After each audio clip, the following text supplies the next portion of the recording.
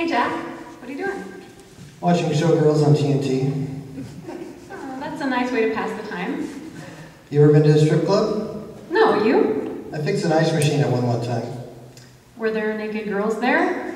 Yeah, but it was like 2 in the afternoon, so they were just sort of sitting around bored like they were waiting at the DMV. They were DMV boobs. Very unenthusiastic boobs. Agreed with the concept of a strip club. A man should have to work to gain access to boobs. I wanted, I wanted to take them wherever I could get them. I thought you were better than that.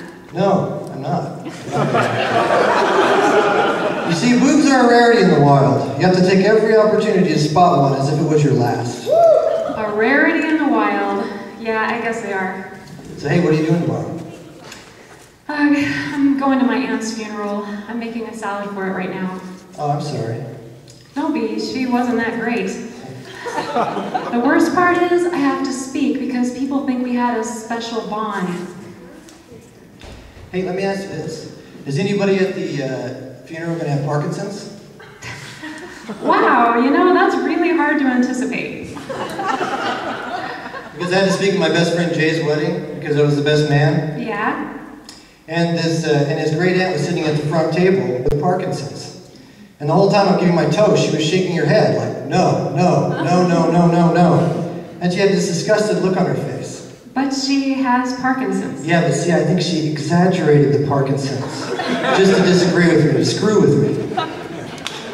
That's diabolical. So midway through the speech, I started looking at her, nodding my head up and down, like, yes, yes, yes, yes. And what did people do? Well, eventually the mic was taken from me. My next door neighbor growing up was an old lady with Parkinson's. Oh, yeah? Yeah, but she had the good kind. She nodded up and down. A much more agreeable Parkinson's than the side to side. And get this she had a shut in son that lived with her who was rumored to be 12,000 pounds. No way, like the people they show on Maury Povich? Yeah, exactly. Did you ever see him?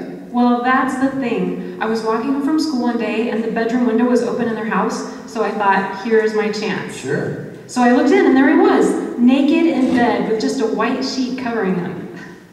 Well, how fat was he? Not fat enough. What do you mean, not fat enough? He weighed maybe 375, 400 pounds. 375, 400 pounds? That's like the fat guy at the office with the dude wearing a big dog t-shirt at Little League games. I know! He was totally taking advantage of the 12,000 pound shut in lifestyle. So guess what I did? What? I confronted my neighbor lady about it. What about her son not being fat enough? Yeah, about her son not being fat enough. He was totally taking advantage of her. And did she fully grasp the depth of what you were saying? I don't know. That's the thing. She had the agreeable Parkinson's. Ah, yes. Yeah, she just kept nodding up and down. yes. Anyway, I did my part. Hey, uh, listen, after the funeral, do you want to get some food? Are you asking me out after I go to a family funeral? Well, I figure after the funeral, you might be emotionally vulnerable, and I would, I would have a better chance.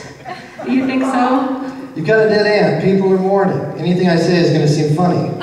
I do very well at post-funeral dates. I'll think about it. Good. And when you're thinking about when you're thinking about that, think about this: a 1,200 pounder with Parkinson's. It would be like a massive blur of jiggliness. They'd probably lose weight from all the shaking. That's funny. That is very funny. Good night, Jack. Night, Katie.